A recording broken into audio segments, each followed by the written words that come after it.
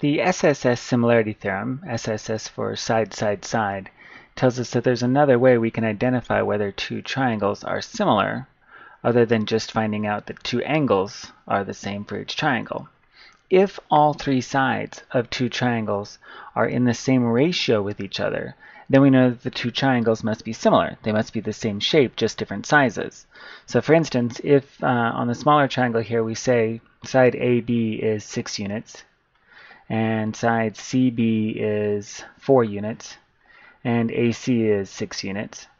And then we also know that YZ is 6, XY, I'm sorry, is not 6, let's do bigger, let's do, um, let's do 12.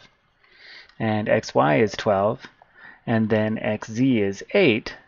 Then we can tell, you can see that all the sides that match in color are in the same proportion to each other.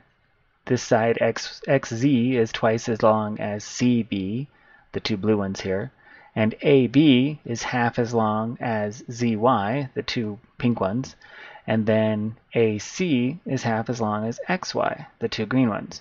So since the three the two triangles have all three sides that are similar, that are in proportion to each other, the same proportion, 2 to 1, we can say that these two triangles are similar.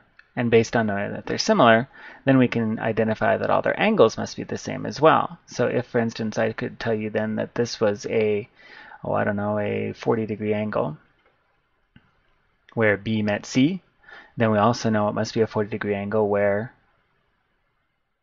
Z is on the other triangle, because similar triangles have all the same angles. So let's see how this applies to our example questions.